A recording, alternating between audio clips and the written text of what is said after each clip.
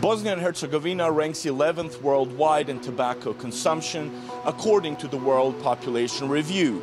On May 28, 2023, the federal government in the country is introducing a law in order to control and restrict the use of tobacco in public spaces, hoping to limit its promotion and consumption.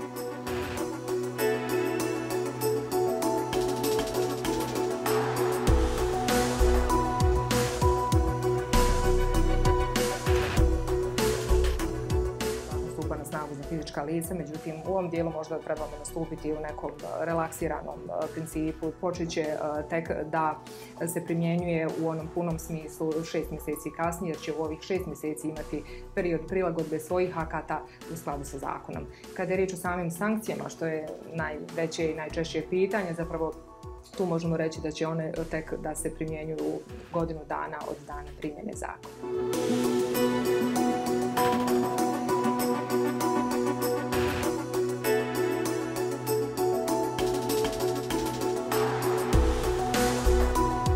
Djeci, to jeste maloljetnim osobama, to treba strogo zabraniti. Sad ćemo se možda i prilagoditi malo dok je ljetni period, pa građani će to jeste gosti izlasti moće i vani da koriste te duhanske proizvode. Što se tiče zimskih perioda vidjet ćemo, nastojat ćemo nešto udovoljiti i gostima, a također i za prilagodce zakona.